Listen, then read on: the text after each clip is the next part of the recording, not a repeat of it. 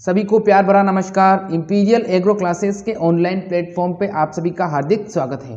देखिए, आज का जो हमारा टॉपिक है, उस टॉपिक का नाम है बैंगन। इसके उपनाम अगर की मैं बात करूँ तो उपनाम इसको हम बोलते हैं गोल्डन एप्पल इसको एग प्लांट के नाम से भी जाना जाता है और इसको हम आम्बरजीन के नाम से भी जानते हैं। ठीक है, इसके तीन उपनाम हैं गोल्डन एप्पल और इसके बाद में इसको एग प्लांट बोला जाता है और इसको अबरजीन के नाम से भी जाना जाता है। ठीक है तो आज बैंगन के बारे में हम विस्तृत अध्ययन करेंगे और देखेंगे किस किस प्रकार के क्वेश्चंस एग्ज़ाम में पूछे जाते हैं। उन्हीं सभी क्वेश्चंस का समावेश मैंने इसमें किया है। तो पूरी क्लास अटेंड करिएगा। मीडियम सी क्लास है एक, ना ज़्यादा छोटी है, ना ज़्यादा बड़ी है, लेकिन इससे क्वेश्चन हर बार पूछा जाता है। इसकी जो वेराइटीज़ है ना, वो वेराइटीज़ वाला सेगमेंट बहुत ही इंपॉर्टेंट है, क्योंकि इस, जितनी वेरिएशन इस इस में देखने को मिलेगी ना, जितनी विभिन्नताएँ आपको इस बैंगन की वेराइटी में देखने को मिलेगी ना उतनी किसी सब्ज़ी में देखने को नहीं मिलेगी ठीक है? क्योंकि इसमें देखो लंबा बैंगन होता है, गोल बैंगन होता है, हरा बैंगन होता है, सफ़ेद बैंगन होता है, बीटी बैंगन होता है और विदेशी बैंगन होता है। इन सब की अलग अलग वेराइटीज़ हैं तो इनका अध्ययन करेंगे हम। फिफ्टी परसेंट पार्ट सिर्फ़ और सिर्फ़ वेराइटीज़ के लिए रखा है, क्योंकि BHU में मैंने देखा है ऑब्ज़र्व किया है BHU और आई के एग्ज़ाम में। ये मोस्टली पूछे जाते हैं और जेट में तो खैर आते ही हैं, लेकिन मोस्टली इनमें पूछे जाते हैं जो कंपटीशन एग्ज़ाम होते हैं अदर उनमें भी ये बार बार इस प्रकार के क्वेश्चन पूछे जाते हैं, ठीक है? तो पूरी क्लास अटेंड करनी है आपको। अगर न्यू स्टूडेंट हो तो चैनल सब्सक्राइब करके बेल आइकन को प्रेस कर लीजिए ताकि आगे आने वाली नोटिफिकेशन आपको मिलती रहे। और इस चीज़ का ध्यान रहे कि 25 तारीख को 25 जून 2020 ठीक सुबह साढ़े ग्यारह बजे हमारा टेस्ट चालू होगा। तो उस टेस्ट का अगर आप हिस्सा बनना चाहते हो तो चैनल को सब्सक्राइब कर लीजिए। उसका लिंक आपको आज नहीं तो कल प्रोवाइड करवा दिया जाएगा, ठीक है? तो चलिए शुरू करते हैं आज का रोमांचक सफ़र। देखिए, बिल्कुल बेसिक से चलेंगे। क्वेश्चन नंबर फ़र्स्ट क्या है हमारा? क्वेश्चन नंबर फ़र्स्ट पूछा गया है, बैंगन का वानस्पतिक नाम है। बैंगन का वानस्पतिक नाम है। ऑप्शन नंबर ए है हमारा सोलेनम ट्यूबेरोसम बी है हमारा सोलेनम मिलोंजना सी है हमारा सोलेनम एस्कुलेंटम और डी है हमारा सोलेनम ब्रिंजल। क्या होगा इसका जवाब? बताइए जल्दी से, बैंगन का वानस्पतिक नाम होगा। Solanum tuberosum, Solanum melongena, Solanum esculentum या फिर सोलेनम ब्रिंजल। क्या होगा इसका नाम? बताइए जल्दी से बैंगन का वानस्पतिक नाम क्या होगा? बैंगन का वानस्पतिक नाम बताना है आपको, क्या होगा? ऑप्शन नंबर, जिसने जवाब दिया है, ऑप्शन नंबर बी वाला, सोलेनम मिलोंजना बिल्कुल सही जवाब है। बैंगन का वानस्पतिक नाम क्या हो जाएगा? बैंगन का वानस्पतिक नाम होगा सोलेनम मिलोंजना। किस नाम से जाना जाता है? सोलेनम मिलोंजना नाम से जाना जाता है, ठीक है? अगला सवाल देखिए क्या है। नेक्स्ट क्वेश्चन है हमारा, बैंगन को किस उपनाम से जाना जाता है? अब मैंने बताया कि उपनाम वाले क्वेश्चन बार बार पूछे जाते हैं एग्ज़ाम में। तो उपनाम बताना है आपको, इसका उपनाम क्या होगा? ऑप्शन नंबर ए है हमारा गोल्डन एप्पल बी है हमारा एग प्लांट सी है हमारा आबरजीन और डी है हमारा उपरोक्त सभी। अब जवाब आपको देना है बैंगन को किस उपनाम से जाना जाता है? Golden apple eggplant aubergine या उपरोक्त सभी। क्या होगा इसका जवाब?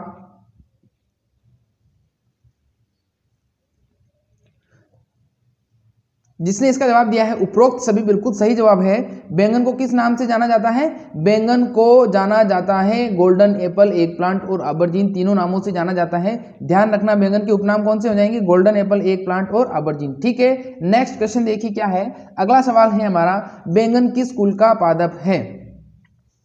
क्वेश्चन क्या पूछा गया है? बैंगन किस कुल का पादप है? ऑप्शन नंबर ए है हमारा मालवेसी बी है हमारा सोलेनेसी सी है हमारा क्रूसीफेरी और डी है हमारा टिलियसी। जवाब दीजिए, बैंगन किस कुल का पादप है?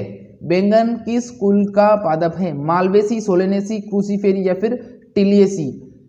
जवाब क्या होगा? देखिए, जिसने आपने जवाब दिया है, सोलेनेसी बिल्कुल सही जवाब है। जो हम सोले, सोलेनेसी, जो हम बैंगन का वानस्पतिक नाम बोलते हैं, तब भी आपने देखा होगा कि नाम आता है सोलेनम मिलोंजना। तो सोलेनम से याद रखना है आपको कोरिलेट करके याद रखना है कि सोलेनम से सोलेनेसी हो जाएगा और बैंगन किस कुल का पादप है? सोलेनेसी कुल का पादप है।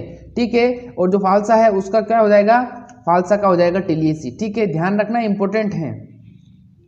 अगला सवाल देखिए क्या है? बैंगन का उत्पत्ति स्थान माना जाता है। बैंगन का उत्पत्ति स्थान सबसे पहले इसको कहाँ देखा गया था? या इसका ओरिजिन प्लेस क्या होगा? बैंगन का उत्पत्ति स्थान। ऑप्शन नंबर ए है हमारा भारत बी है हमारा चीन सी है जापान और डी है हमारा अफ्रीका। बताइए जल्दी से, बैंगन का उत्पत्ति स्थान है भारत, चीन, जापान और अफ्रीका। क्या होगा इसका जवाब? भारत, चीन, जापान और अफ्रीका। जवाब दीजिए, भारत, चीन, जापान और अफ्रीका में से क्या जवाब होगा? जिसने इसका जवाब दिया है ऑप्शन नंबर ए वाला भारत। बिल्कुल सही जवाब है। बैंगन का उत्पत्ति स्थान क्या माना जाता है? बैंगन का उत्पत्ति स्थान माना जाता है भारत। भारत देश को बैंगन का उत्पत्ति स्थान माना जाता है। अगला सवाल देखिए क्या है। नेक्स्ट क्वेश्चन है हमारा, बैंगन किस प्रकार की जलवायु का पौधा है? बैंगन की जलवायु पूछी गई है यहाँ पर। क्लाइमेट पूछा गया है बैंगन का। बताना है आपको, बैंगन किस प्रकार की जलवायु का पौधा है? क्लाइमेट क्या होगा इसका? तो ऑप्शन नंबर ए है हमारा, ठंडी जलवायु बी है हमारा, गर्म जलवायु सी है हमारा बर्फीली और डी है हमारा कोई नहीं। बताइए जल्दी से बैंगन किस प्रकार की जलवायु का पौधा है? ठंडी का है, गर्म का है, बर्फीली का है, कोई नहीं। क्या होगा इसका जवाब? बैंगन किस प्रकार की जलवायु का पौधा है? ठंडी, गर्म, बर्फीली, कोई नहीं। ए बी सी डी क्या होगा इसका जवाब? देखिए, जिसने इसका जवाब दिया है ऑप्शन नंबर बी वाला, गर्म जलवायु, बिल्कुल सही जवाब है, जो बैंगन होता है, वो मुख्य रूप से एक मध्यम गर्म जलवायु का पौधा होता है। मध्यम गर्म, हद से भी ज़्यादा गर्म नहीं और हद से भी ज़्यादा ठंडी नहीं। जो मीडियम गर्म होती है, उस जलवायु में उगाया जाता है, उष्ण जलवायु में इसको उगाया जा सकता है। ठीक है?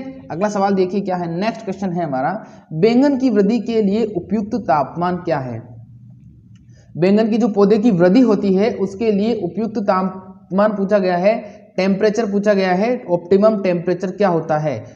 उपयुक्त तापमान को इंग्लिश में ऑप्टिमम टेम्परेचर के नाम से जाना जाता है, ठीक है? तो ऑप्शन नंबर ए है हमारा 10 से 12 डिग्री सेल्सियस बी है हमारा 15 से 20 डिग्री सेल्सियस सी है हमारा 15 से थोड़ा मिसप्रिंट हो गया है डबल बार हो गया है, और डी है हमारा 20 से 25 डिग्री सेल्सियस अब जवाब दीजिए, क्या होगा बैंगन की वृद्धि के लिए उपयुक्त तापमान क्या होगा? 15 से 20 डिग्री 15 से 20 डिग्री सेल्सियस क्या होगा इसका जवाब? देखिए, जिसने इसका जवाब ऑप्शन नंबर डी वाला दिया है 20 से 25 डिग्री सेल्सियस बिल्कुल सही जवाब है, जो बैंगन के पौधों की वृद्धि के लिए उपयुक्त तापमान माना जाता है, वो तापमान माना जाता है 20 से 25 डिग्री सेल्सियस कितना होगा? 20 से 25 डिग्री सेल्सियस टेम्परेचर बिल्कुल सूटेबल रहता है, और इस टेम्परेचर पर बैंगन के पौधे की जो ग्रोथ होती है, वो भी अच्छी होती है, और इसके अंदर जो फल फूल होते हैं फल फूल लगते हैं, वो भी बहुत अच्छी संख्या में या अच्छी मात्रा में लगते हैं, और उत्पादन भी हमें अच्छा प्राप्त होता है। ठीक है? अगले सवाल की तरफ़ बढ़ते हैं, देखिए क्या है अगला सवाल। नेक्स्ट क्वेश्चन देखिए क्या है। बैंगन के पौधे के लिए उपयुक्त तापमान हो चुका है। नेक्स्ट क्वेश्चन है हमारा, देखिए, बैंगन का बैंगनी वे पीला रंग किसके कारण होता है? बहुत ही इंपॉर्टेंट क्वेश्चन है। बैंगन का बैंगनी या पीला रंग किसके कारण होता है? जवाब देना है, बैंगन का जो बैंगनी रंग होता है, वो किसके कारण होता है? और देखिए, अब आप कहोगे कि पीला रंग सर, मैंने, हमने पीला बैंगन नहीं देखा। देखिए, पीला बैंगन ऐसे नहीं होता है। जब बैंगन पूरी तरह से पक जाता है तो पकने के बाद वो नीले से किस कलर में परिवर्तित हो जाता है? नीले से वो पीले कलर में परिवर्तित हो जाता है। तो जैसे ही बैंगन पकता है, पकने के बाद अगर आपको उसके बीज रखने हैं तो उसको तोड़ना नहीं है, उसको वहीं छोड़ दिया जाता है, फिर वो धीरे धीरे धीरे पकना चालू हो जाता है और नीले से पीले में परिवर्तित होना चालू हो जाता है। एक कंडीशन ऐसी आती है जब वो बिल्कुल मेच्योर हो जाता है और प्लांट से टूट जाता है, उस कंडीशन में उसको वहाँ से उठाकर जहाँ पर आपकी सेफ़ जगह होती है, वहाँ पर सुखा दिया जाता है और उससे कुछ समय बाद में बीज अलग कर लिए जाते हैं। ठीक है? तो ये प्रोसेस होता है। अब समझ में आ गया? बैंगन पीला क्यों होता है? ठीक है, आगे इस प्रकार का क्वेश्चन और आएगा। तो इसका जवाब होगा एंथोसाइनिन। ऑप्शन ए जिसने जवाब दिया है, एंथोसाइनिन, बिल्कुल सही जवाब है। बैंगन का पीला और बैंगनी रंग किसके कारण होता? है। किसके कारण होता है? एंथोसाइनिन के कारण होता है। ठीक है? अगले सवाल की तरफ़ बढ़ते हैं। देखिए क्या है। नेक्स्ट क्वेश्चन है हमारा। बैंगन में कड़वाहट किसके कारण होती है? कभी आप खा के देखोगे बैंगन को तो हल्का सा आपको कड़वा लगेगा। और वो कड़वा क्यों लगता है? कौन सा जब कच्ची अवस्था में रहेगा, तब ज़्यादा कड़वा लगेगा और जब पक जाता है, बना ली जाती है उसकी सब्ज़ी तो उसके बाद में थोड़ा कम लगता है। ठीक है? तो उसका जवाब देना है आपको एंथोसाइनिन, क्वेरसिटीन, सोलोसेडिन या फिर कोई नहीं बैंगन में कड़वाहट, एंथोसाइनिन, पेरसिटीन, सोलोसेडिन या फिर कोई नहीं। बैंगन में कड़वाहट बतानी है आपको किसके कारण होगी? एंथोसाइनिन, पेरसिटीन, सोलोसेडिन या फिर कोई नहीं। बताइए जल्दी से। जिसने इसका जवाब दिया है ऑप्शन नंबर सी वाला, सोलोसेडिन बिल्कुल सही जवाब है। बैंगन में कड़वाहट का कारण सोलोसेडिन को माना गया है। बैंगन में कड़वाहट का कारण सोलोसेडिन को माना गया है। किसको माना गया है? सोलोसेडिन को माना गया है। और इस सोलोसेडिन का जो दूसरा नाम होता है वो होता है ग्लाइको एल्केलॉइड क्या होता है? ग्लाइको एल्केलॉइड तो यहाँ पर ध्यान रखने वाली बात यह है बच्चों ध्यान से सुनिए। अगर आपको ऑप्शन में सोलोसेडिन दिया जाता है तो सोलोसेडिन पर टिक करना है। अगर आपको ऑप्शन में ग्लाइको एल्केलॉइड दिया जाता है तो ग्लाइको एल्केलॉइड पर टिक करना है। अब आप कहोगे सर दोनों दे दिए तो दो, बच्चों दोनों नहीं देगा वो एक ही देगा आपको ऑप्शन में ठीक है? तो ग्लाइको एल्केलॉइड पर टिक करना है आपको ध्यान रखना। अगला सवाल देखिए क्या है? नेक्स्ट क्वेश्चन है हमारा कि सफ़ेद बैंगन का उपयोग किस रोग में होता है? बैंगन देखिए, सफ़ेद भी होता है बैंगन, हरा भी होता है और बैंगनी भी होता है, ठीक है? तो सफ़ेद बैंगन का उपयोग किस रोग में होता है? ऑप्शन नंबर ए है हमारा हृदय रोग में, बी है हमारा, मधुमेह रोग में, सी है हमारा, क्षय रोग में और डी है हमारा, टीबी में या ट्यूबरकुलोसिस टीबी की फुल फॉर्म ट्यूबरकुलोसिस होती है। बताइए, सफ़ेद बैंगन का उपयोग किस रोग में होता है? सफ़ेद व्यंजन का उपयोग बताना है। ऑप्शन नंबर ए है हमारा हृदय रोग, बी है हमारा मधुमेह रोग, सी है हमारा क्षय रोग और डी है हमारा टिब्बी। बताइए जल्दी से सफ़ेद व्यंजन का। सफ़ेद बैंगन का, जिसने ऑप्शन में जवाब दिया है, मधुमेह रोग, बिल्कुल सही जवाब है। जो मधुमेह रोगी होते हैं, उनको सफ़ेद बैंगन खिलाया जाता है। सफ़ेद बैंगन में कुछ ऐसे तत्व पाए जाते हैं, जो मधुमेह में, मधुमेह रोगियों के लिए उपयुक्त माने जाते हैं, अच्छे माने जाते हैं। इसमें कुछ विशेष प्रकार के एल्कुलेट्स पाए जाते हैं, जो मधुमेह रोगियों के लिए उपयुक्त माने जाते हैं। किस प्रकार से? वो अंदर जाते हैं और अंदर जाने के बाद में रक्त के अंदर शर्करा की मात्रा को कम करते हैं। इसीलिए क्या करते हैं, सफ़ेद बैंगन उनको खिलाया जाता है, ठीक है? अगला सवाल देखिए क्या है नेक्स्ट क्वेश्चन है हमारा, बैंगन का फल का प्रकार है। अब बैंगन के फल का प्रकार पूछा है फ्रूट टाइप ऑफ़ ब्रिंजल पूछा गया है आपसे, बैंगन के फल का प्रकार या फ्रूट टाइप ऑफ़ ब्रिंजल पूछा गया है। ऑप्शन नंबर ए है हमारा सरस बी है हमारा बेरी सी है हमारा ए और बी दोनों और डी है हमारा कोई नहीं। बैंगन का फल का प्रकार बताना है आपको। सरस है बेरी है या ऑप्शन नंबर ए सी जो है हमारा ए और बी दोनों। बताइए क्या होगा इसका जवाब? बैंगन का फल का प्रकार। जिसने ऑप्शन नंबर सी जवाब दिया है, बिल्कुल सही जवाब है। देखिए, जो सरस होता है, उसको इंग्लिश में हम बेरी कहते हैं। सरस होता है, उसको इंग्लिश में हम बेरी कहते हैं। तो बैंगन के फल का प्रकार क्या हो जाएगा? बैंगन के फल का प्रकार हो जाएगा सरस या बेरी ठीक है? सरस या बेरी हो जाएगा। देखिए, एक अमेजिंग सी चीज़ बताता हूँ। आप सब लोगों ने को पता होगा कि जो आम का फल का प्रकार होता है, वो होता है अस्टिल या ड्रुप। ठीक है? अस्टिल या ड्रुप होता है। अब देखिए, इसका एक नाम और भी निकल के आया सामने। अस्टिल या ड्रुप के अलावा इसको स्टोन के नाम से भी जानते हैं। जो पत्थर होता है ना, पत्थर पत्थर को क्या कहते हैं, हम स्टोन कहते हैं, उसी प्रकार से जो फ्रूट टाइप है मैंगो का, उसको स्टोन के नाम से भी जाना जाता है। ध्यान रखना, अगर लिखना चाहते हो तो लिख लो। स्टोन के नाम से जाना जाता है स्टोन स्टोन के नाम से जाना जाता है, ठीक है? अगला सवाल देखिए क्या है। नेक्स्ट क्वेश्चन है हमारा। बैंगन की बीज दर प्रति हेक्टर। देखिए, एक तो बैंगन की और एक टमाटर की और एक भिंडी की। ये तीन बीज और एक एक चौथी है मिर्ची की। ये चार बीज दर ऐसी है जो बार बार एग्ज़ाम में पूछी जाती है मिर्ची की और भिंडी की।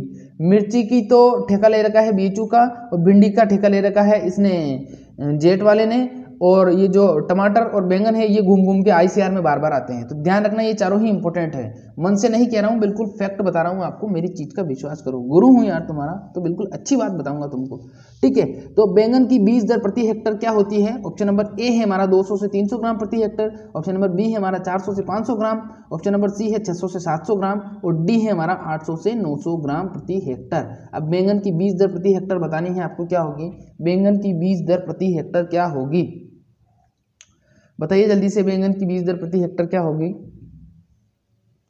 जिसने इसका जवाब दिया है, देखिए जो बैंगन की बीज दर वैसे रखी जाती है, वो रखी जाती है 200 से 300 ग्राम। ऑप्शन नंबर ए वाला बिल्कुल सही जवाब है। बैंगन की बीज दर रखी जाती है 200 से 300 ग्राम प्रति हेक्टर। कितनी रखी जाएगी? 200 से 300 ग्राम प्रति हेक्टर। ग्राम में रखी जाएगी सब्जियों की बीज दर। ध्यान रखना, सब्जियों की बीज दर हमेशा ग्राम में रखी जाएगी क्योंकि क्योंकि इनके जो बीज होते हैं वो बहुत छोटे होते हैं और जिनके बीज बड़े होते हैं, उनकी जो मात्रा रखते हैं, वो किलोग्राम में रखते हैं। जैसे जैसे आप भिंडी की बीज दर देख लो तो वो किलोग्राम में होती है, पंद्रह से बीस किलोग्राम के समथिंग जैसे मिर्च है तो उसका बीज थोड़ा सा ही बड़ा होता है, इसलिए उसकी जो बीज दर होती है वो लगभग एक पॉइंट पाँच किलोग्राम के समथिंग होती है। ठीक है? समझ में आ गया बिल्कुल? और देखो, एक चीज़ और बता देता हूँ, बहुत से जो स्टूडेंट हैं, नए जुड़े, उनको पता नहीं है कि एक हेक्टर में कितना एरिया होता है। तो एक हेक्टर में जो एरिया होता है वो दस मीटर स्क्वायर होता है। कितना होता है? दस हज़ार मीटर स्क्वायर होता है अगर उसको हम एकड़ में कन्वर्ट करें तो 2.47 एकड़ होता है। कितना होता है? दो एकड़ होता है। अगर उसको बीघा में हम कर, कम कन्वर्ट करें तो कहीं पर बीघा छोटा होता है तो साढ़े चार होता है और कहीं पर बीघा बड़ा होता है तो साढ़े छः भी होता है। ठीक है? तो समझ में आ गया? बिल्कुल कॉन्सेप्ट सारे क्लियर कराए जाएँगे। अब देखिए इस बात पर अगर आपको नई बात जानने को मिली है तो चैनल को सब्सक्राइब कर दीजिए ताकि मुझे पता चले कौन कौन नए स्टूडेंट आए हैं। और वीडियो को लाइक करना और ख़त्म होने के बाद में ये ज़रूर लिख के जाना कि सर, वीडियो कैसी लगी आपको या क्लास कैसी लगी आपको, ठीक है? अगला सवाल देखिए क्या है नेक्स्ट क्वेश्चन है हमारा, बैंगन की एक हेक्टर हेतु नर्सरी होती है। अब देखिए नर्सरी के बारे में भी एक फैक्ट बता देता हूँ मैं आपको नर्सरी क्या होती है?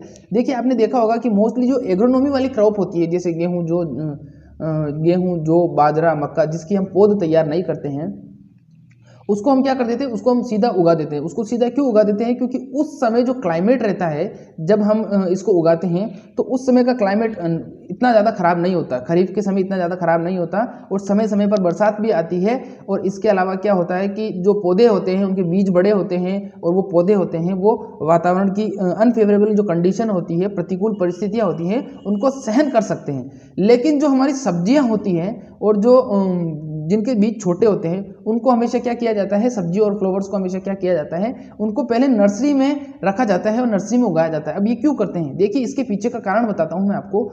एक तो बीज छोटा होता है, ठीक है? तो उसको क्या करते हैं, नर्सरी में रखते हैं। नर्सरी में पहले छोटे बीजों को उगाते हैं, फिर उसको बड़ा करके फिर उसको खेत में ट्रांसप्लांट करते हैं। दूसरा कारण ये होता है कि जब हम नर्सरी में उगाते हैं तो नर्सरी में हम पौधों की देखभाल आसानी से कर सकते हैं। एक खेत का एक एरिया है, एक हेक्टर, उसमें आप आसानी से कर सकते हो। एक तो दस हज़ार मीटर वर्ग एरिया है, उसमें आसानी से कर सकते हो, या एक ढाई सौ वर्ग मीटर एरिया है, उसमें आसानी से कर सकते हो। तो ढाई सौ वर्ग मीटर वाले में आसानी से कर सकते हो, उसको छाया में भी रख सकते हो आप, उसको पानी से भी बचा सकते हो आप, और बहुत सारे रोगों, कीटों से भी बचा सकते हो। बहुत सारे लाभदायक फैक्टर होते हैं। इसलिए क्या किया जाता है? कुछ सब्जियों को पहले नर्सरी में उगाया जाता है, फिर उसके बाद में उसको सीधा खेत में ट्रांसप्लांट कर दिया जाता है। अब एक अमेजिंग बोनस टिप और दे देता हूँ आपको। भिंडी की कभी भी पोज नहीं लगाई जाती है। ध्यान रखना, भिंडी की कभी भी पोद नहीं लगाई जाती है। उसको तो सीधा ही ट्रांसप्लांट या सीधा ही उसकी सोइंग की जाती है। इज़ दैट क्लियर और इसका जो आंसर होगा कि बैंगन की एक हेक्टर है तो नर्सरी कितनी रखी जाती है? तो उसका आंसर होगा 250 वर्ग मीटर। कितना होगा? 250 वर्ग मीटर इसका आंसर हो जाएगा। ठीक है? अब अगले सवाल की तरफ़ बढ़ते हैं। नेक्स्ट क्वेश्चन क्या है हमारा? देखिए, अगला सवाल है हमारा। बैंगन की एक हेक्टर में सामान्य किस्मों से उपज होती है। अब यहाँ पर ध्यान देने वाली चीज़ क्या है? यहाँ पर पूछा सामान्य किस्मों से उपज। आपको संकर का नहीं बताना आपको सामान्य का ही बताना है और एक हेक्टर में बैंगन से सामान्य किस्मों से कितनी उपज प्राप्त होगी? तो ऑप्शन नंबर ए है हमारा 250 क्विंटल बी है हमारा 600 क्विंटल सी है हमारा 750 क्विंटल और डी है हमारा 1000 क्विंटल। अब बताइए जल्दी से बैंगन की एक हेक्टर में सामान्य किस्मों से उपज कितनी होती है? बताना है आपको। जिसने इसका जवाब दिया है देखिए, जो उपज की बात आती है तो जिसने इसका जवाब दिया है, ढाई सौ क्विंटल बिल्कुल सही जवाब है। जो बैंगन की एक हेक्टर में सामान्य किस्म से अगर हम माने तो सामान्य किस्म से जो उपज होगी, वो होगी ढाई क्विंटल प्रति हेक्टर कितनी होगी? लगभग ढाई क्विंटल प्रति हेक्टर ठीक है? अब अगला सवाल देखिए क्या है। नेक्स्ट क्वेश्चन है हमारा कि बैंगन की एक हेक्टर में संकर किस्मों से उपज, क्योंकि वहाँ पर तो क्वेश्चन ऐसे ही पूछा जाएगा। या तो वो सामान्य की पूछेगा या फिर वो संकर की पूछेगा। तो आपको तो ध्यान रखना पड़ेगा ना। तो इसीलिए मैंने दोनों क्वेश्चन को इंक्लूड किया है। अब बताइए जल्दी से इसका जवाब क्या होगा? संकर किस्मों से उपज कितनी प्राप्त होगी? हमें बैंगन की एक हेक्टर में संकर किस्मों से उपज होती है।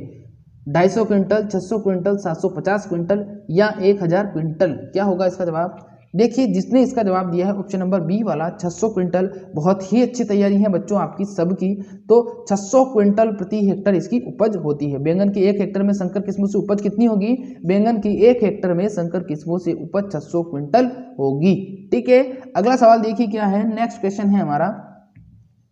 बैंगन की कौन सी किस्म हरे फल वाली है? बैंगन की कौन सी किस्म हरे फल वाली है? बैंगन की कौन सी किस्म हरे फल वाली है? ऑप्शन नंबर ए है हमारा। देखिए, ये बहुत ही इंपॉर्टेंट क्वेश्चन है। मैंने जब क्लास स्टार्ट हुई थी तो मैंने बताया था कि बैंगन हरा भी होता है, बैंगन सफ़ेद भी होता है, बैंगन नीला भी होता है, बैंगन पीला भी होता है। मैंने सारे ही बताए थे, बैंगन पीला कब हो जाता है? हरा, नीला बीला और जो बीटी बैंगन है, वो सबका वेरियस टाइप बताया था मैंने। अगर आप नए नए जुड़े हैं, कोई दिक्कत नहीं, जैसे ही क्लास खत्म हो जाती है, आप आगे वाला सेगमेंट देख सकते हो, ठीक है? तो बैंगन की कौन सी किस्म हरे फल वाली है? ऑप्शन नंबर ए है हमारा, अर्का सीरीज़ बी है हमारा अर्का कुसुमाकर सी है हमारा ए और बी दोनों, और डी है हमारा पूसा क्रांति।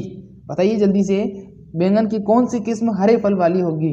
ग्रीन फ्रूट या ग्रीन कलर फ्रूट? जिसने जवाब दिया है ऑप्शन नंबर सी वाला बिल्कुल सही जवाब है, जो बैंगन की किस्म है अर्का शिरीष और अर्का कुसमाकर ये दोनों ही किस्में हरे फल वाली हैं। कौन सी हैं? दोनों ही किस्में हरे फल वाली है, ध्यान रखना इस चीज़ का। कौन सी दोनों ही किस्में हरे फल वाली है?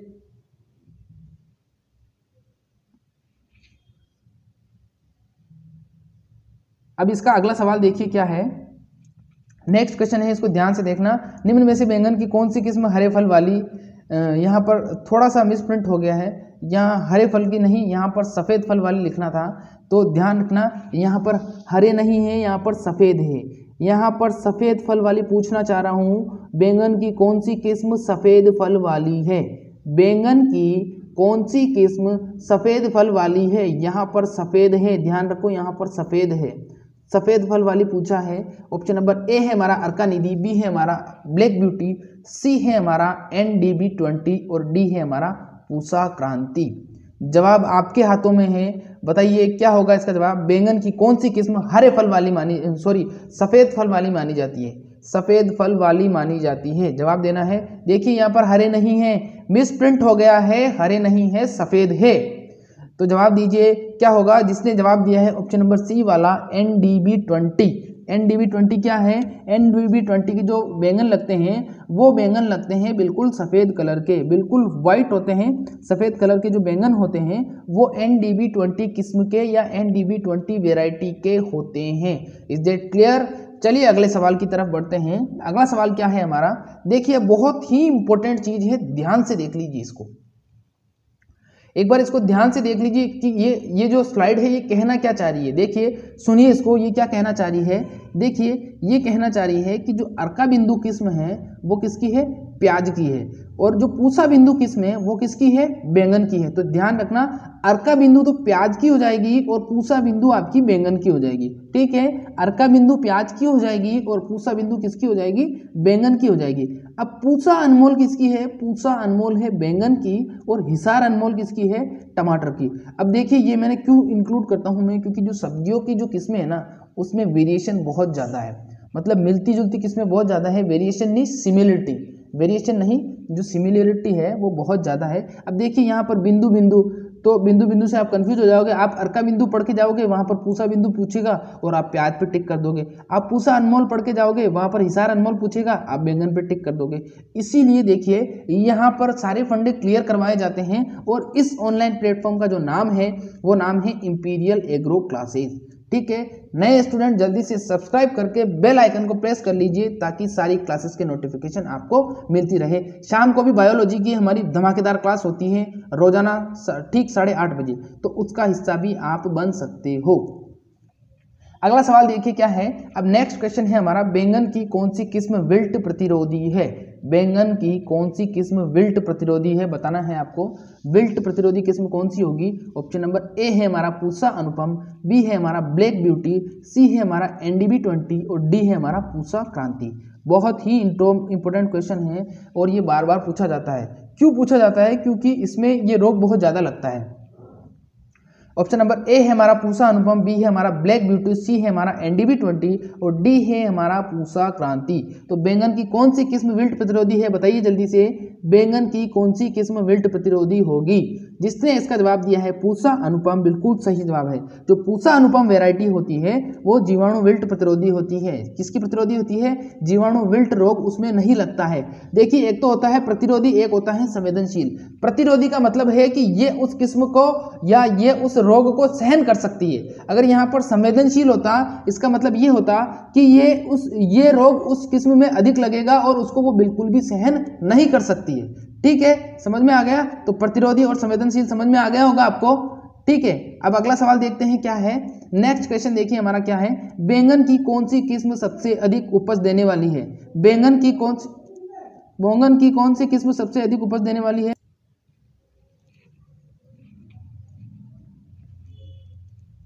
देखिए, बैंगन की कौन सी किस्म सबसे अधिक उपज देने वाली है? तो इसका जो आंसर होगा, वो आंसर इसका क्या होगा? इसका जो देखिए सबसे अधिक उपज, सबसे ज़्यादा जो उपज प्राप्त होती है, वो प्राप्त होती है अर्का नवनीत से। किससे प्राप्त होती है? अर्का नवनीत से प्राप्त होती है। ध्यान से सुन लीजिए क्वेश्चन को वापस से। बैंगन की कौन सी किस्म सबसे अधिक उपज देने वाली है? सबसे अधिक उपज देने वाली पूछा गया है तो इसका आंसर क्या हो जाएगा? सी वाला आंसर हो जाएगा, अर्का नवनीत सबसे अधिक उपज देती है। और अभी जीवाणु रोधी के लिए बताया था मैंने, जीवाणु विल्ट प्रतिरोधी किस्म कौन सी हो जाएगी? पूसा, अनुपम जीवाणु विल्ट प्रतिरोधी किस्म हो जाएगी। ध्यान रखना क्वेश्चन ज़रूर से आएगा इसमें से। अगला सवाल देखिए क्या है। नेक्स्ट क्वेश्चन है हमारा। अब देखिए, अब कुछ किस्मों के क्वेश्चन आ गए हैं तो अब थोड़ा सा समझने वाली चीज़ अब आइए मेन चीज़ अब आइए तो पूरा इसको देखिएगा। अब बस थोड़ा सा और बचा है, ताकि आपको बहुत कुछ सीख के जाओगे यहाँ से, ठीक है? तो पूरी क्लास अटेंड करनी है आपको, ठीक है? तो बैंगन की कौन सी किस्म सबसे अधिक लंबे फल वाली है? बैंगन की कौन सी किस्म सबसे अधिक लंबे फल वाली है? तो ऑप्शन नंबर ए है हमारा पूसा अनुपम। बी है हमारा ब्लैक ब्यूटी, सी है हमारा अर्का नवनीत और डी है हमारा पूसा क्रांति। अब जवाब आपको देना है, सबसे जो लंबे फल होते हैं, वो किसमें होते हैं? जवाब दीजिए, सबसे लंबे जो फल होते हैं, वो किसमें होते हैं? देखिए, जो पंत सम्राट किस्म होती है? जो डी वाला ऑप्शन है, पंत सम्राट। उसमें सबसे लंबे फल होते हैं। पंत सम्राट, जो डी वाला ऑप्शन है, पंत सम्राट उसमें सबसे लंबे फल होते हैं। किसमें होंगे? पंत सम्राट में सबसे लंबे फल होंगे। ध्यान रखना क्वेश्चन पूछा गया है पीछे कि सबसे लंबे बैंगन वाली किस्म कौन सी होगी? तो कौन सी होगी? पंत सम्राट सबसे लंबे बैंगन वाली किस्म होगी। अगला सवाल देखिए क्या है। नेक्स्ट क्वेश्चन है हमारा, बैंगन की कौन सी किस्म गोल फल वाली होती है? और ये जो सवाल है, ये सवाल बी एच यू दो में आया हुआ है। ध्यान से देखना इस क्वेश्चन को। पूछा गया है कि कौन सी किस्म गोल फल वाली होगी। देखिए, जो बैंगन होता है, उसमें जो फ्रूटिंग होती है, वो दो प्रकार से होती है। एक तो जो बैंगन होता है वो लंबा बैंगन होता है और एक जो बैंगन होता है वो गोल बैंगन होता है। तो दो वेराइटीज होती है। तो यहाँ पर पूछा गया है कि बैंगन की कौन सी किस्म गोल फल वाली होगी? तो इसका जो आंसर होगा, वो होगा ऑप्शन नंबर डी वाला, पंत ऋतुराज। तो बैंगन की कौन सी किस्म गोल फल वाली होगी? पंत ऋतुराज जो किस्म है, वो गोल फल वाली होगी। पंत ऋतुराज किस्म गोल फल वाली होगी। ठीक है? समझ में आ गया आपको? पंत ऋतुराज किस्म कौन सी होगी? गोल फल वाली होगी। ध्यान रखना, ये क्वेश्चन इंपॉर्टेंट है। वापस से सुन लीजिए, पंत ऋतु राज, किस्म गोल फल वाली होगी। ठीक है? अगला सवाल देखिए क्या है। नेक्स्ट क्वेश्चन है हमारा, बैंगन की फ़सल का खरपतवार है। ये भी आता है क्वेश्चन बहुत बार, बैंगन की फ़सल का खरपतवार माना जाता है। जवाब देना है आपको, बैंगन की फ़सल का खरपतवार कौन सा होगा? ऑप्शन नंबर ए है हमारा ओरो बैंकी बी है हमारा आज्ञा सी है हमारा ए और बी दोनों, और डी है हमारा कोई नहीं। अब बताना है आपको, बैंगन की फ़सल का खरपतवार कौन सा होगा? ओरो बैंकी होगा, आज्ञा होगा ए और बी दोनों होगा या ऑप्शन नंबर डी हमारा कोई नहीं। बताइए जल्दी से, बैंगन की फ़सल का खरपतवार। बैंगन की फ़सल का खरपतवार होगा ओरो की आज्ञा ए और बी दोनों और ऑप्शन नंबर डी हमारा कोई नहीं। बताइए जल्दी से, बैंगन की फ़सल का खरपतवार क्या होगा ओरो की आज्ञा ए और बी दोनों। जल्दी से जवाब दीजिए, क्या होगा इसका जवाब? जिसने इसका जवाब दिया है ऑप्शन नंबर सी वाला ए और बी दोनों बिल्कुल सही जवाब है। बैंगन की फ़सल का खरपतवार क्या होगा? बैंगन की फ़सल का खरपतवार होगा ऑप्शन नंबर ए और बी दोनों। जो ओरोबेंकी होता है, उसको हम हिंदी में आज्ञा के नाम से जानते हैं। किस नाम से जानते हैं? आज्ञा के नाम से जानते हैं। तो वहाँ पर ज़रूरी नहीं कि ओरोबैंकी लिखा हुआ, वहाँ हिंदी में आज्ञा भी लिखा हुआ आ सकता है। तो आपको ओरोबैंकी और आज्ञा दोनों को ही ध्यान रखना है। और ये ज़रूरी नहीं है कि ये क्वेश्चन इसके अंदर आए, क्योंकि ओरोबैंकी और में भी लगता है तो उसमें भी पूछा जा सकता है। वहाँ पर ओरो बैंक की लिखा हुआ नहीं आया और आगे लिखा हुआ है तो कम से कम आपको ये तो ध्यान रहेगा कि हाँ यार हमने बैंगन की क्लास पढ़ी थी तो उसमें सर ने बताया था कि ओरो बैंक को ही आज्ञा कहते हैं। तो पता नहीं कहाँ का पढ़ा हुआ, कहाँ काम आ जाता है, इसका कोई भरोसा नहीं है। इसलिए पढ़ते रहिए, तैयारी को सशक्त बनाते रहिए, मज़बूत बनाते रहिए। कुछ दिनों की बात और है, फिर तो आराम से आप कॉलेज जाओगे, चश्मा लगा के बाइक पे, बुलेट पे। अगला सवाल देखिए क्या है। नेक्स्ट क्वेश्चन है हमारा, बैंगन का छोटी पत्ती रोग किससे होता है? बैंगन का छोटी पत्ती रोग। अब इस छोटी पत्ती रोग को लिटिल लीफ के नाम से भी जानते हैं। जो छोटी होती है, उसका मतलब होता है लिटिल और जो पत्ती होती है, उसका मतलब होता है लीफ तो लिटिल लीफ हिंदी में भी लिखा आ सकता है कि बैंगन का लिटिल लीफ रोग किससे होता है। तो ऑप्शन नंबर ए है हमारा माइकोप्लाज्मा बी है हमारा एमिलोज सी है हमारा ए और बी दोनों, और डी है हमारा कोई नहीं। अब जवाब देना है, बैंगन का छोटी पत्ती रोग किससे होगा? बैंगन का छोटी पत्ती रोग किससे होगा? लिटिल लीफ ऑफ़ ब्रिंजल किससे होगा? बताइए जल्दी से, क्या होगा इसका जवाब? लिटिल लीफ किससे होगा? देखिए, जिसने इसका जवाब दिया है ऑप्शन नंबर सी वाला ए और बी दोनों बिल्कुल सही जवाब है। बैंगन का जो छोटी पत्ती रोग होता है, वो छोटी पत्ती रोग माइकोप्लाज्मा और एमेलोज दोनों के कारण होता है। दोनों के कारण कैसे होता है? देखिए, जो माइकोप्लाज्मा है, उसको हम इंग्लिश में, या उसका जो दूसरा नाम है, उसको हम बोलते हैं एमेलोज क्या बोलते हैं? एमेलोज के नाम से भी जाना जाता है, और इसका एक और नाम है, जिसको हम फाइटोप्लाज्मा के नाम से भी जानते हैं। तो ध्यान रखना कि ये, वो कोई सा भी नाम दे सकता है, और वो जानबूझकर आपको उसका उपनाम देगा, घुमा के क्वेश्चन पूछेगा, जानबूझकर पूछेगा। ठीक है तो ध्यान रखना फाइटोप्लाज्मा माइकोप्लाज्मा और एमेलो तीनों एक ही नाम है। माइकोप्लाज्मा एम और फाइटोप्लाज्मा तीनों एक ही नाम है। ठीक है, फंडे यहाँ पर सारे क्लियर करवाए जाएँगे आपके। अगला सवाल देखिए क्या है। नेक्स्ट है, बैंगन का छोटी पत्ती रोग कौन फैलाता है? भाई, अब माइकोप्लाज्मा तो खुद पैरों से, टांगों से चल के जाएगा नहीं, एक जगह से दूसरी जगह। उसको किसी माध्यम तो हो, कोई माध्यम होगा जिसके द्वारा ही तो वो जाएगा एक स्थान से दूसरे स्थान पर। जैसे अभी आपने आपने देखा होगा कि जो कोरोना वायरस फैल रहा है तो कोरोना वायरस खुद किसी दूसरे के शरीर से उतर के आके अपने पैरों पे थोड़ी चढ़ जाता है या अपने शरीर पे थोड़ी चढ़ जाता है। वो किसी माध्यम से आता है, जैसे अपन ने किसी संक्रमित आदमी से हाथ मिला लिया और उसके हाथ पर संक्रमित वायरस लगा हुआ है और जैसे अपने हाथ मिलाया तो वो वायरस अपने हाथ पर आ गया। फिर उन हाथों को अपन ने उस हाथों से कोई चीज़ खा ली या उन हाथों से अपन ने मुँह को टच कर लिया तो वो वायरस वहाँ पर भी हो जाएगा, ठीक है? तो ये बेसिक से कॉन्सेप्ट होते हैं रोग फैलने के। तो यहाँ पर इसका एक स्पेसिफिक आंसर होगा लीफ ओपर पर्ण खुद का ए और बी दोनों और ऑप्शन नंबर डी है हमारा, कोई नहीं। अब जवाब दीजिए, क्या होगा इसका जवाब? लीफ ओपर फुद का या ए और बी दोनों और ऑप्शन नंबर डी है हमारा, कोई नहीं। बैंगन का छोटी पत्ती रोग किससे होगा? जिसने इसका जवाब दिया है ऑप्शन नंबर सी वाला, ए और बी दोनों, बिल्कुल सही जवाब है। बैंगन का छोटी पत्ती रोग किससे होता है? बैंगन का छोटी पत्ती रोग होता है लीफ ऑफ़र और पर्णहुदका दोनों से। जो लीफ ऑफ़र होता है, उसको हिंदी में पर्णफुदका के नाम से जाना जाता है। अब मैं हर बार आपको टर्मिनोलॉजी क्यों बताता हूँ? हिंदी मीडियम वाले स्टूडेंट देखिए, अब उसने ऑप्शन दिया पर्णफुद का। अब पर्णफुद का आपको पता है, कोई दिक्कत नहीं है, बहुत अच्छी बात है। लेकिन उसने पर्णफुद का ऑप्शन में दिया ही नहीं। उसने तो ऑप्शन में दे दिया लीफ ऊपर तो फिर आप करोगे क्या उस समय? इसीलिए कहता हूँ कि टर्मिनोलॉजी को स्ट्रॉन्ग करो, पढ़ते रहो इंग्लिश के वर्ड्स भी, ठीक है? एक ना एक क्वेश्चन इस प्रकार का ज़रूर आएगा। एक और दो क्वेश्चन इस प्रकार के ज़रूर आएँगे, ठीक है? तो बैंगन का छोटी पत्ती रोग, बता दिया मैंने लीफ ऊपर या पर्णफुदका से होगा, ठीक है? अब अगले सवाल की तरफ़ बढ़ते हैं। नेक्स्ट क्वेश्चन है हमारा, क्या है? बैंगन का छोटी पत्ती रोग का नियंत्रण किससे होता है? बैंगन का छोटी पत्ती रोग का नियंत्रण किससे होता है?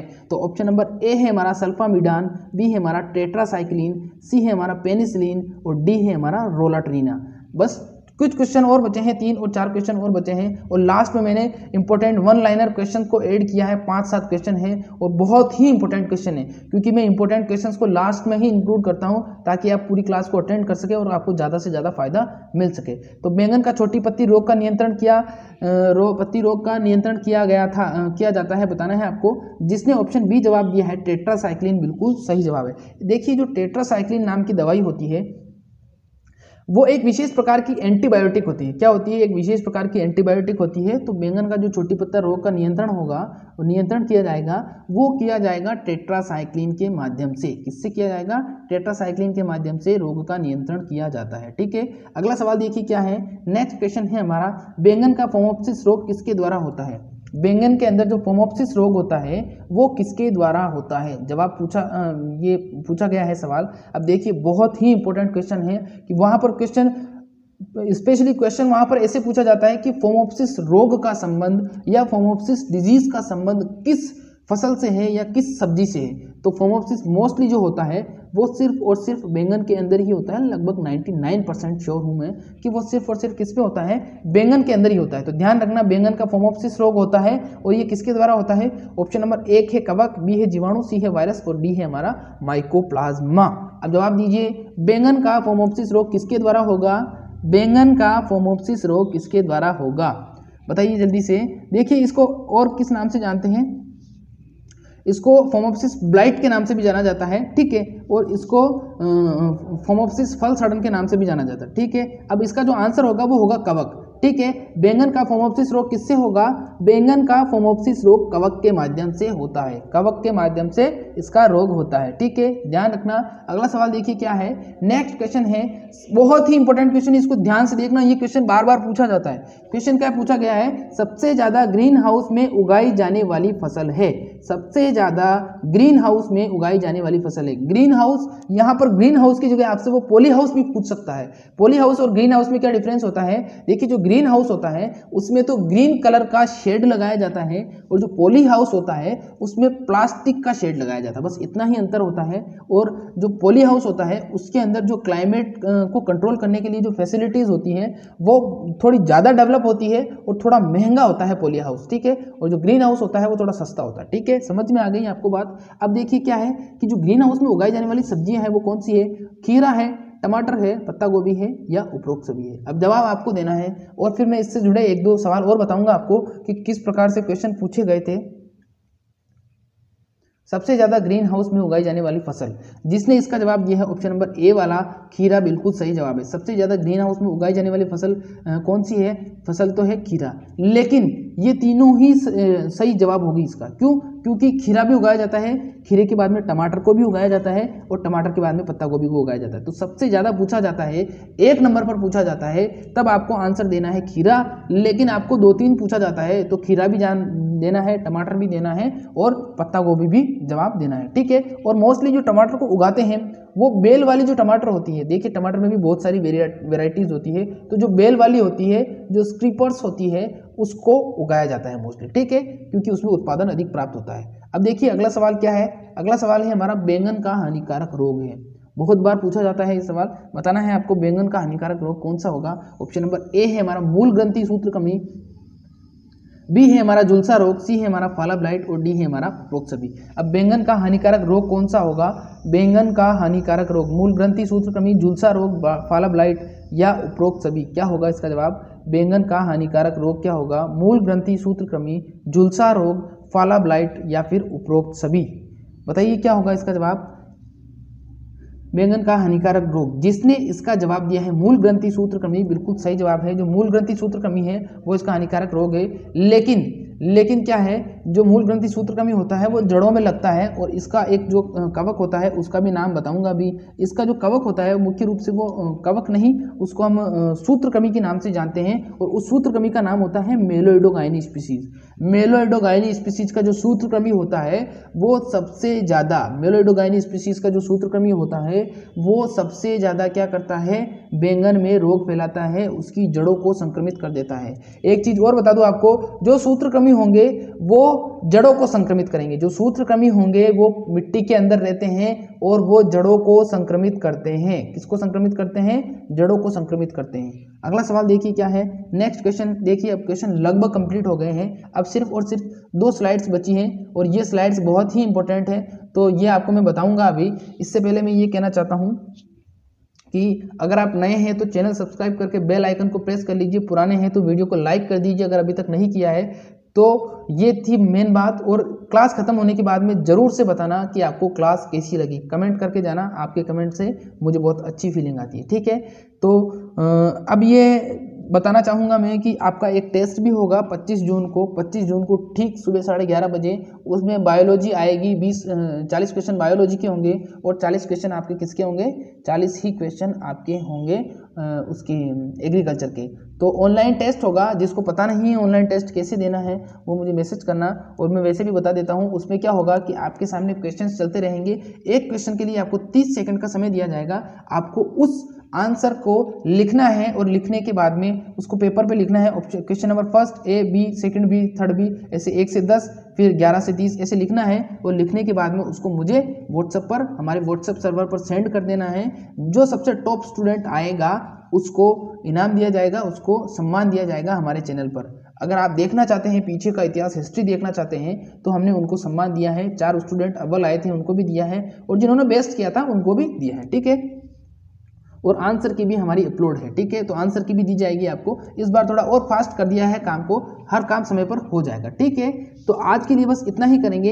अब देखिए क्वेश्चन आगे बता देता हूँ मैं आपको। अब देखिए, बैंगन की किस्में हैं कुछ जो मैंने पीछे नहीं पढ़ाई थी।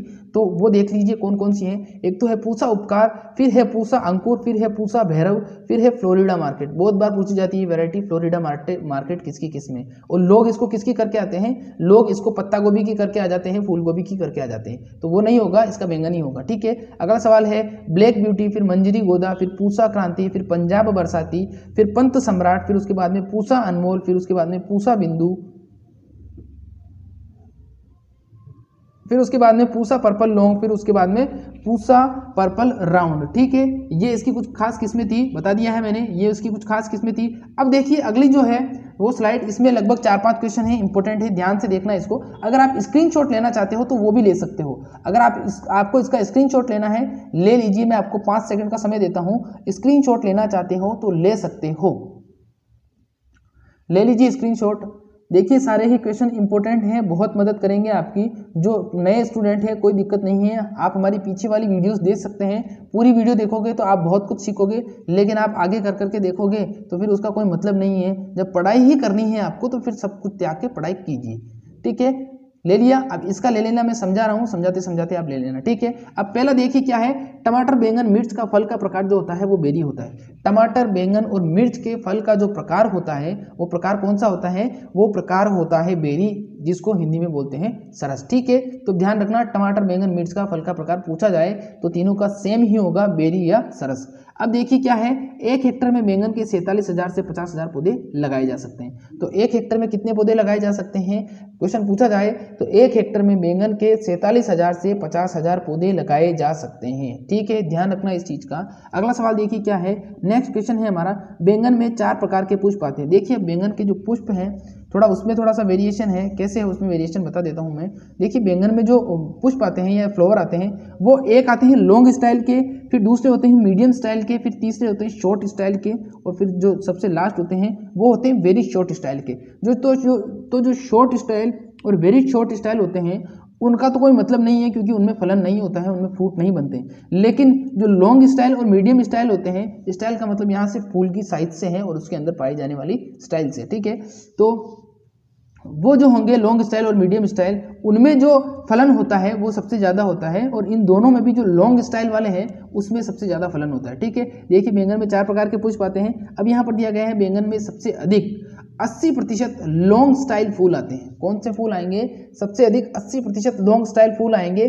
तो आपसे पूछा जाता है कि सबसे ज़्यादा बैंगन में किस प्रकार के फूल आते हैं? तो इसका जवाब क्या हो जाएगा? इसका जवाब हो जाएगा लॉन्ग स्टाइल फूल। इस प्रकार के क्वेश्चंस आपको कोई नहीं बताएगा। सब आपको बेसिक पढ़ाते हैं तो बेसिक तो सभी पढ़ रहे हैं। सभी को पता है कि वैज्ञानिक नाम इसका ये सोलेना मिलोंजना इसका वैज्ञानिक नाम है।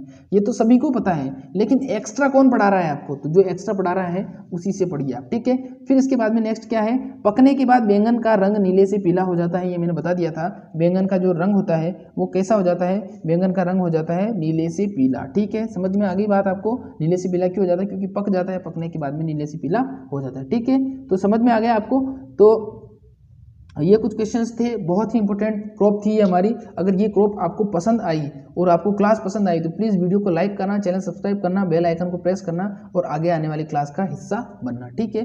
शाम को ठीक मिलेंगे साढ़े आठ बजे बायोलॉजी की क्लास में। तब तक के लिए नमस्कार। सुरक्षित रहिए, घर पर रहिए, बाहर तो कोरोना है। धन्यवाद।